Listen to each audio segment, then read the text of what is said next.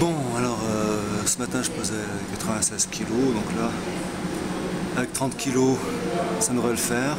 Par contre, les 16 répétitions, difficiles. Euh, difficile.